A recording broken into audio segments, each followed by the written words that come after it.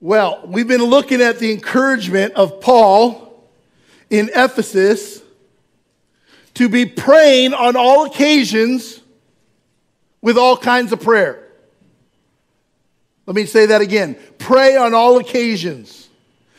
We have different occasions happen in our life. We have things that we mourn and things that we celebrate. We have things that we uh, are studying and learning and things that we're giving away. We have seasons, all kinds of seasons, and on all occasions in our life, Paul says, be in prayer about those things and be praying with all kinds of prayers. Ephesians 6 18. So, with this in mind, how is it? What does all kinds of prayers look like? What does it mean to pray all kinds of prayers? What other prayers is there? Other than, Lord, rescue me. I have a need. We see there's some prayers that we pray really well. And there's some prayers we pray really often. We have prayers like the need prayers, right? The fix it, I call it the fix it prayer. Lord, fix it. I have a need, I have a circumstance, I have a situation, I don't know what to do, I don't know how to change it, I don't know how to fix it. Lord, fix it. And we also have prayers of strength, strengthening prayers or courageous prayers. Lord, give me the strength to face what I'm facing. And so those are some of the prayers that we pray a lot. But Paul says there's all kinds of prayers that we should be praying. And so we're really focusing on kind of five of the main prayers that, man, if we would just add this to our prayer life and pray these more often, it would revolutionize our life with the Lord and his work in us and through us. Um, there was a period of my life in a season where I found myself praying for the Lord to open a door. Lord, open a door. I want you to open that door. I want to walk through that door. I want to experience and do and go to the place that's on the other side of that door. So I'm praying, Lord, make the way. And I was very specific in my prayer. I was, I was specific on why I wanted to go through that door. I was specific on what I thought He wanted to do with me on the other side of that door. I was very focused. Lord, open the door. Any of you guys ever prayed for something like that in your life? Lord, open that door? And uh, He didn't open it. And uh, I got to admit, I was a little bit frustrated disappointed, wondering, was it me? Was it because I'm not what I'm supposed to be? And I had all kinds of thoughts and I wrestled. And then, you know, some time went by and uh, the Lord revealed to me as clear as day I'm really glad He didn't open that door. If He had opened that door, I would have found myself in a place experiencing things that could that would have for sure caused harm and if not uh, and, possibly co- could have caused disrepair in my life spiritually mentally emotionally even had effects on my family. If he had opened the door i was so adamant that he opened. It was a very interesting season of my life. And after i kind of that rev- big revelation came to me quietly under my breath. Thank you, Lord. So glad. You definitely know what you're doing. You see, the reality is, is a lot of times we pray for outcomes when we pray. We're outcome driven a lot of times in our prayers. We know the person that we want to get saved. We know when they should get saved. We know where they should get saved, how they should get saved. And we tell the Lord all of it. We know the person, the enemy that needs to be defeated and removed from our lives. We know the punishment they deserve. We know the place that they should go. And we tell the Lord all about it. We know the need we have. We know what it costs and the dollar amount that's required. And we tell the Lord all about it and how to do it. We're outcome driven. But what I really needed in that season where I prayed for the open door was not the outcome.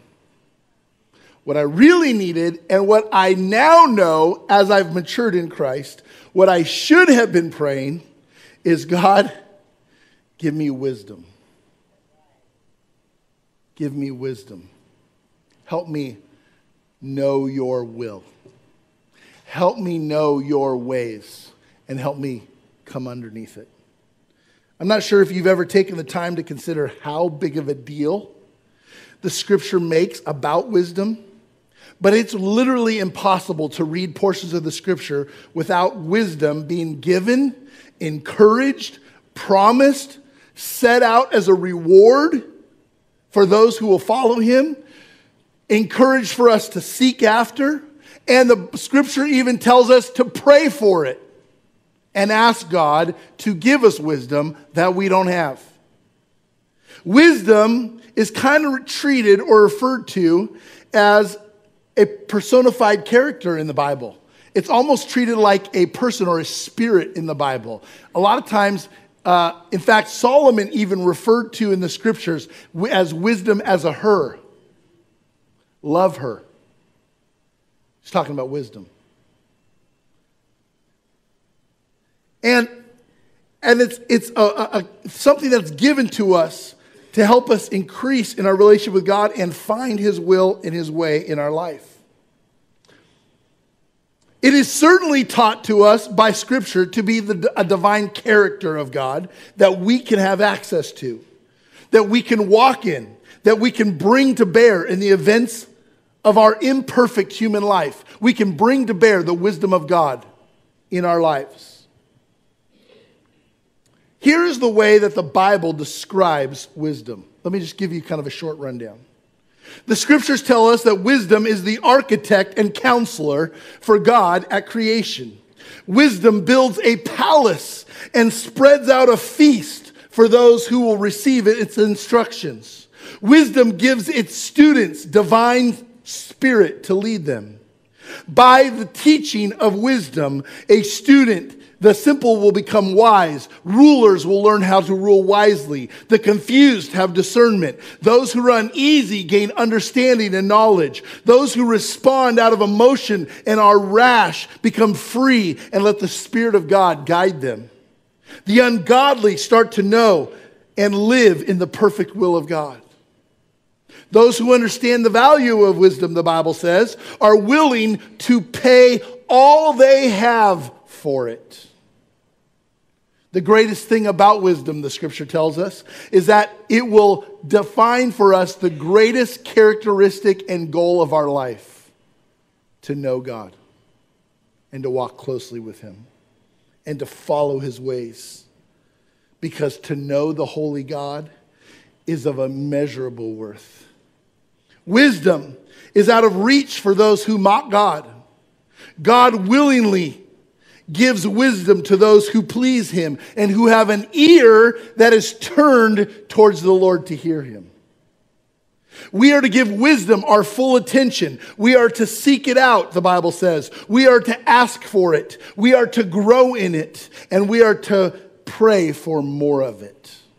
These are all things that the Bible tells us for wisdom.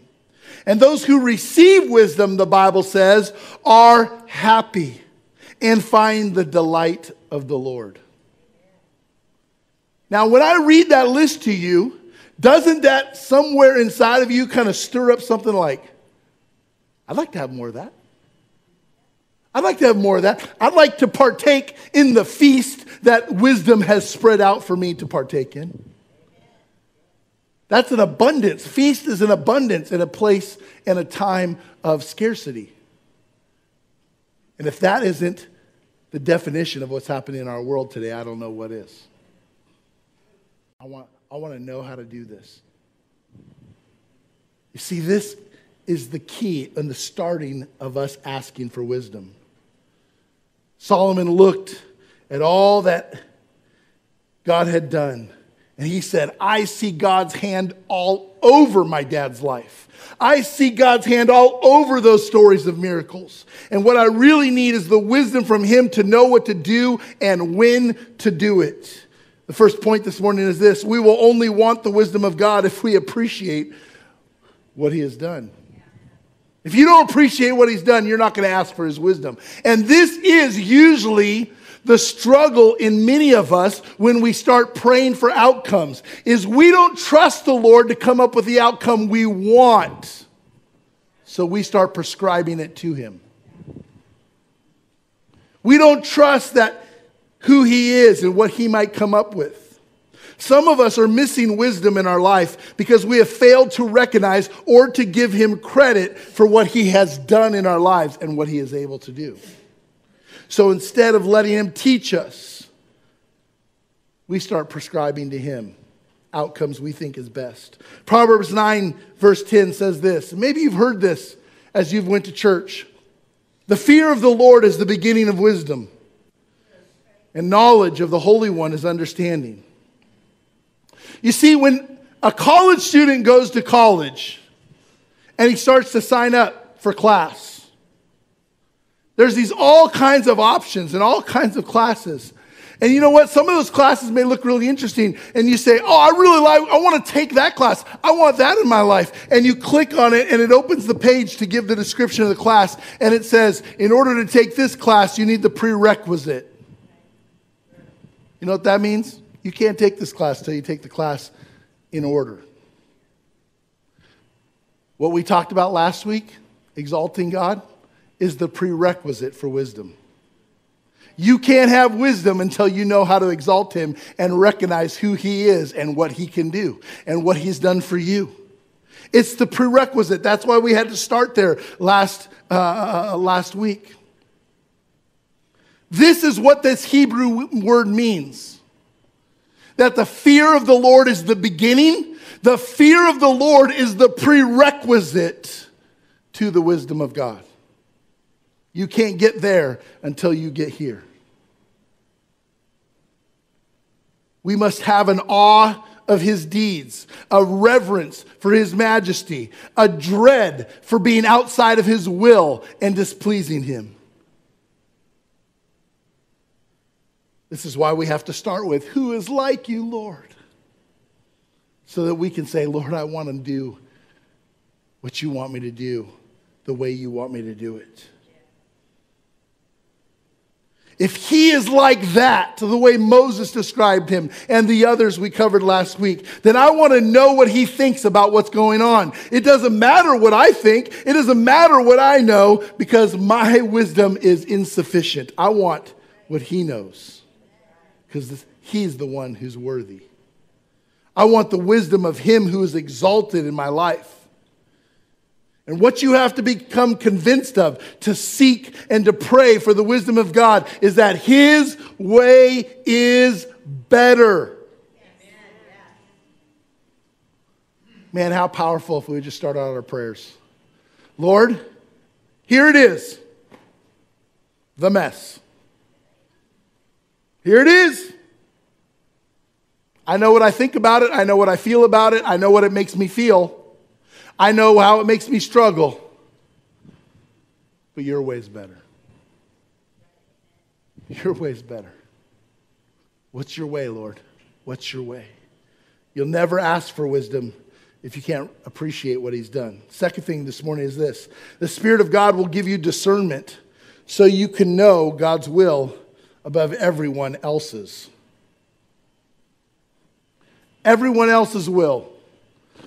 Isn't it interesting in life that the older you get, the more people want to speak into your life and tell you what you should do? The, the interaction with Solomon and the Lord goes on, 1 Kings 3 7 through 9. Now, Lord my God, you have made your servant king in place of my father David, but I am only a little child and I do not know how to carry out my duties. Your servant is here among people you have chosen, a great people, too numerous to count or number. So give your servant a discerning heart to govern your people and to distinguish between right and wrong. For who is able to govern this great people of yours? Most evidence points to Solomon being about 20 years old. And he says, I'm only a little child. Lord, I'm too young and immature. And he says, Who is worthy to govern these. These are your people. So you should govern them. So whatever you say, I'll do. That's the beginning of wisdom right there, is discernment, knowing what to do. The humility he displayed to say to the Lord, Lord, I don't know what I'm doing, but you do. The humility. And I just feel like the Lord would just be more refreshed sometimes if he could hear me more often say, Lord, I have no idea what I'm doing. have no idea, Lord. You guys all heard the phrase. Maybe you've even spoke it recently. When you found yourself in a situation where you had more responsibility than you had wisdom. Fake it till you make it. Fake it till you make it. I find this to be a very odd phrase, but I myself have used it. Fake it till you make it. You know what we're saying? I have no idea what I'm doing. Don't let anybody else know that you don't know how to do anything. On the outside, keep it all together and pretend like you know what you're doing. And hopefully, one day you will know what you're doing. The problem is, is we usually only get it to the fake it stage. Because I don't know, for those of you older than me, I've turned 51 this year. I'm still faking it. Without the wisdom of the, there's still a whole lot of things I don't know how to do. And I don't know what to do in the circumstances that present themselves to, to me in my life. And without the Lord's help and wisdom and guidance, it's still just going to be faking it. And this is the problem is we're kind of saying that with a little bit of hope in our hearts that someday we're going to make it. Only to realize the older you get, the bigger the problems get that you don't know how to handle. Solomon says, I don't know what to do. I don't know how to lead these people.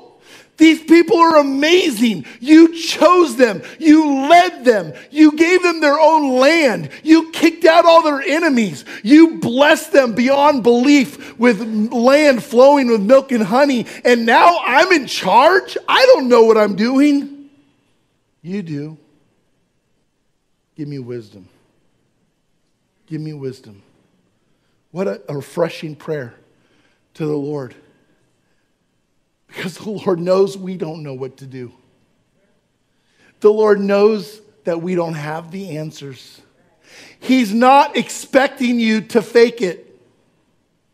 He's got all the wisdom you need. He's got all the wisdom.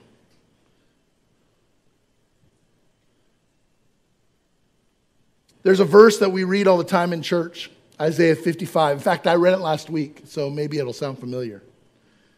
For my thoughts, the Lord says, are not your thoughts. And my ways are not your ways. For as high as the heavens are from the earth, so are my ways and my thoughts better than your ways and your thoughts. And we go, Yes, Lord. Yes, Lord. And we hear this verse from the Lord. And I feel like we respond to it or interpret it in a wrong manner. We hear it like there's an adult and we're the little children in the room, right? You remember when you're a little kid and there was adult things happening and we all trying to sneak around the corner and find out what's going on. And the adults in the room turn around and go, yeah, not yet, son. Go away. The adults are talking. Our ways are higher and better. We're smart and grown ups, and you're a little kid. So go back out in the yard and just keep playing. I feel like sometimes we hear this verse and we, ref- we kind of think of this verse this way like God saying, My ways are higher, just step aside, son. You know, that's tragic because that's not what he's communicating. You say, My ways are higher, my ways are better because I'm God. It's an invitation to walk in his ways and to walk and to know his thoughts. You see, it's an invitation of don't let your faking it, don't let your pretending, don't let your pride, don't let your, uh, uh, uh, your confidence, overconfidence get in the way of knowing me and my thoughts and my ways. My ways are higher. Come to me. I'll give them to you, I'll share them with you. Guys, this verse is an invitation for those of us who, who don't know how to do it for the Lord to show us how to do it. You don't have to live in the brokenness of man's wisdom because the God of the universe, whose ways are infinitely higher and better, are more perfect, and leads to life, is inviting you to receive his wisdom. All you have to do is ask. Paul tells the church that he pastored in Ephesus. By the way, Paul did three missionary journeys, started tons of church, just planted ministry all around the region.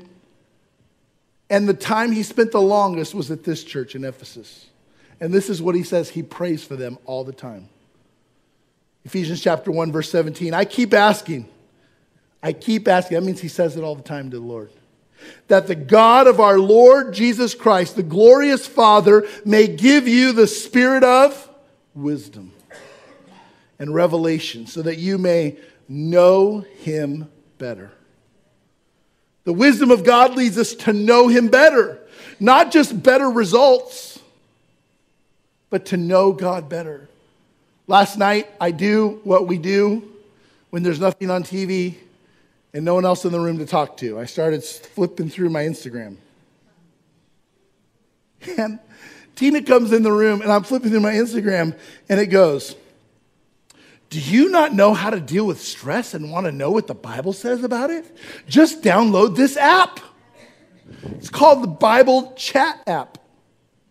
And they've kind of linked AI to the scriptures, and all you have to do is speak to your phone what you're going through in your life, and the app will tell you back the biblical wisdom that the Bible wants you to know about how to deal with it.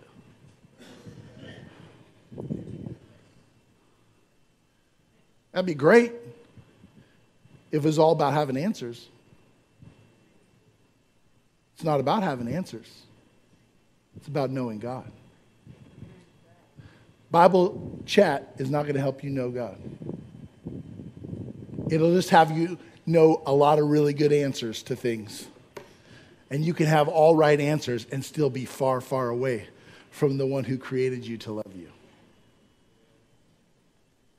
Guys, it's got to be more than that. We cannot reduce our faith down to just having the right answers. I had this thing when I was growing up in Sunday school, and the Sunday school teacher would try to get us involved, all of us rowdy kids that were always misbehaving. And I, I had this thing in Sunday school that whatever the question was, if I just answered Jesus, I was going to be right 50% of the time. Jesus. Lance, that's not the answer. You can't just say that all the time. 50% of the time, though, I was right. You see, it's not about just having answers.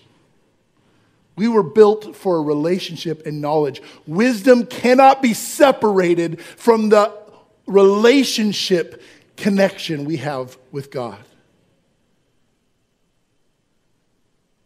If you're if you ask for the spirit of wisdom, you're asking for God to mentor you, which requires showing you his heart. You're asking God to guide you, which requires learning how to hear his voice. You're asking God to teach you, which requires time spent. There is no separation of wisdom and relationship with God. Paul says, I pray that God will give you the spirit of wisdom so you will know him better. And if you know him better, guess what? You're going to know what to do better in your circumstances.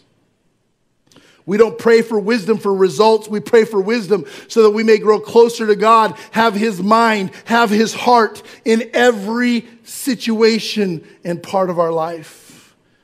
We learn to have His mind and His perspective.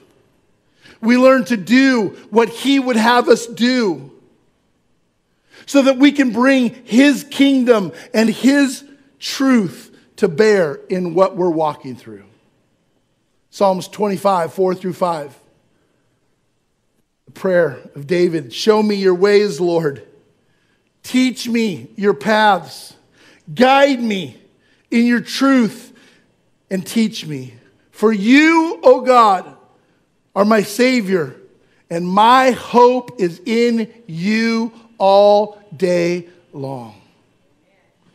My hope is not in the right answer. My hope is in God.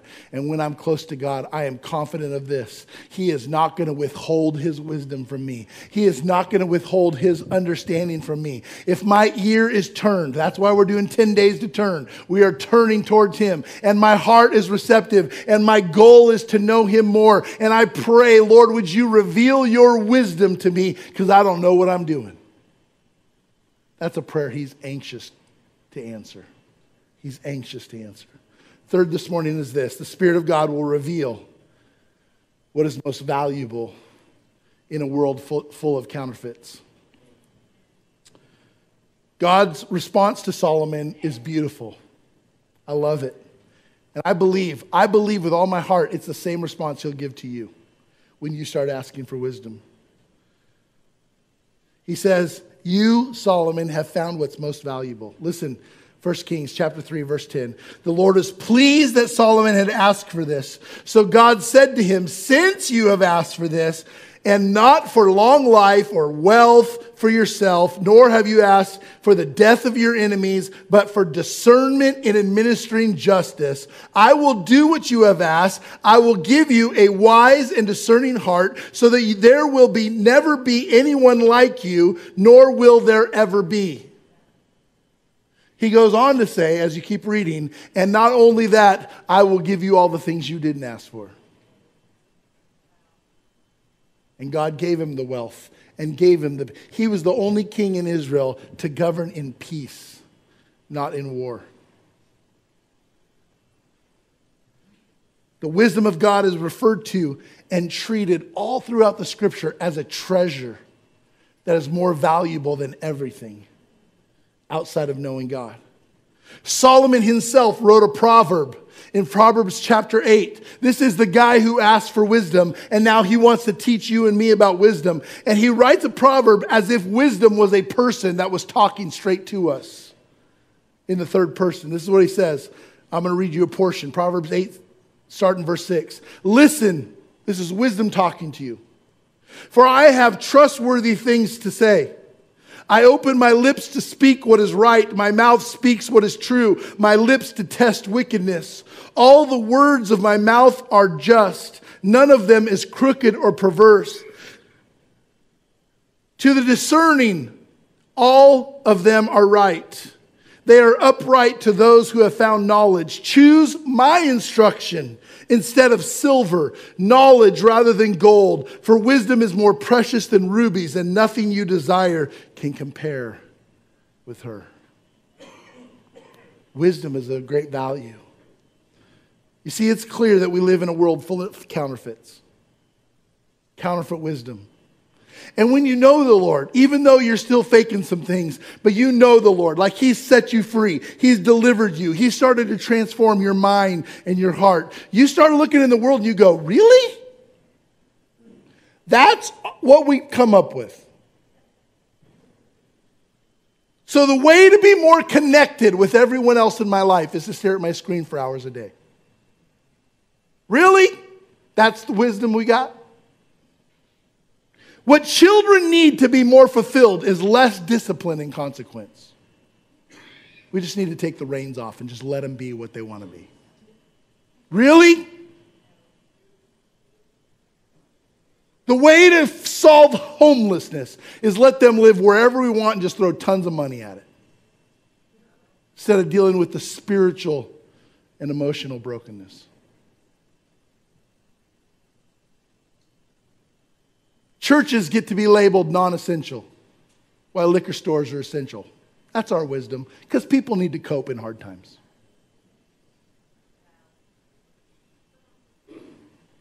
Children have to get parental consent for an Advil at school, but they can change their sex without ever informing their parent. That's our wisdom. That's our wisdom. Oh, here, I got a good one for you. The way to protect our democracy is take half the country and make them your enemy. We're going to protect our freedom with that.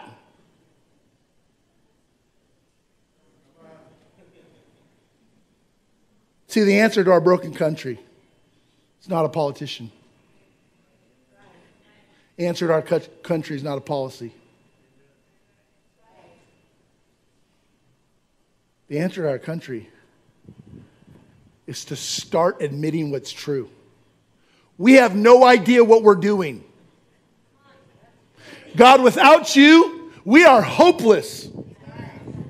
You are the answer. You are the way. You are the truth. You are the life. And without you, Lord, we are going to be lost in despair and brokenness. And everything that is right is going to be made wrong. And everything that is wrong is going to be made right. And we're going to literally destroy ourselves from the inside out without the wisdom, Lord, that you have to give.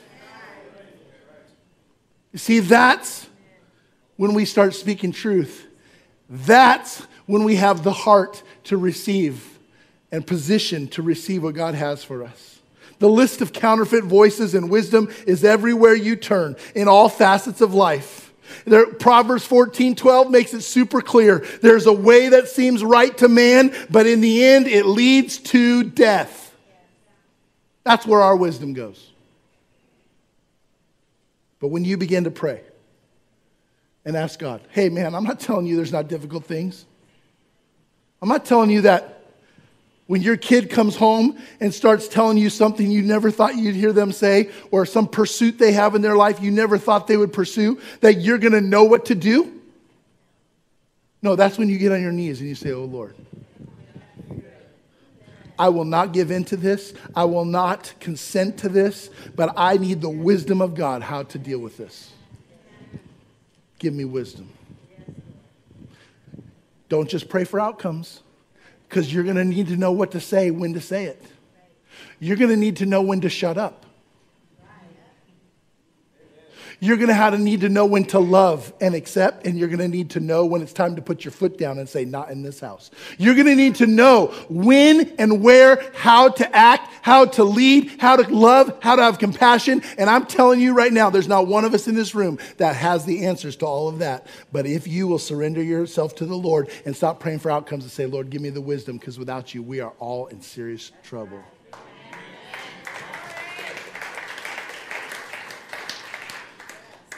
And all of a sudden, when you start to pray for the wisdom of God, God gives you the answer you need. The Spirit starts to work through you and begins to put His fingerprints, not your fingerprints. If it has your fingerprints, it's not going to be good. He starts to put his fingerprints on your home, his fingerprints on your marriage, his fingerprints on your children, his fingerprints on your business and your workplace, his fingerprints on your church, on your community, on your culture. Because instead of our fingerprints doing what we think is right while we're faking it, he's given us the wisdom that leads to life. He's given us the wisdom. Ashley, uh, excuse me, Natalie, would you come up here for this minute? I want you to, in fact, just stand. Just stand until we see this last piece. I, just, I have one more thing I want to say to you. I have one more thing I want to say to you. Catch this. Is there a one with a little more light that we can, a setting with a little more light we can put on? Maybe the worship setting or something. I want you to think about this from Scripture. I want you to think about this. Joseph saved his entire people from drought and became the second most influential person in Egypt in the wisdom of the Lord. Moses wouldn't move unless the Lord promised to go with him and give him his wisdom. Joshua defeated an impenetrable city in the wisdom of the Lord because he had his plans.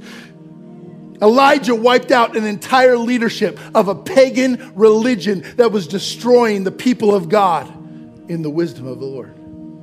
David would not touch the Lord's anointed, even though it was his right to do it in the wisdom of the Lord, and God made him king.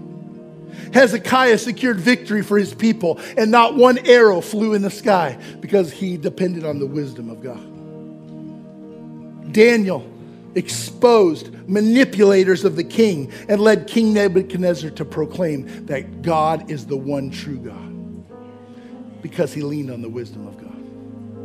Peter went from cutting off ears in the garden to planting the church that still blesses the world and is growing today in the wisdom of God. Paul brought the gospel to the capital city in the most wicked empire that has ever existed in the wisdom of God.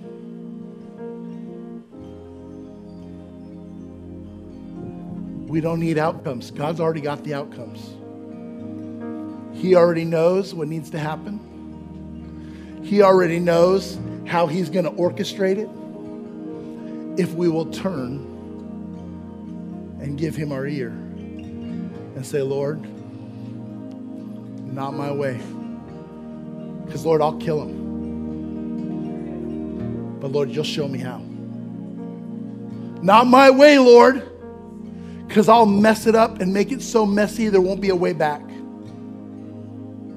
But, Lord, you got the wisdom I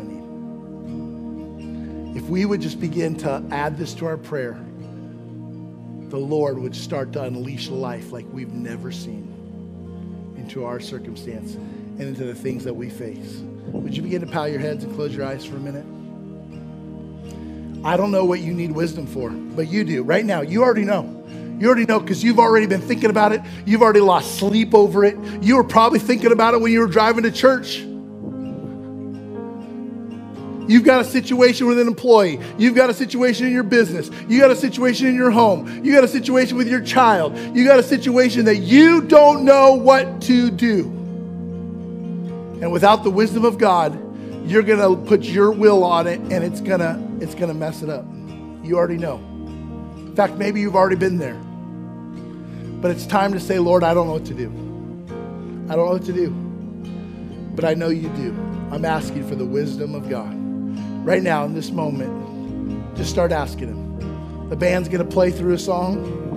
And as they do, I want you just to have a personal moment with God where you turn your attention from outcomes to seeking the wisdom of the Most High God. Just begin to do that right now.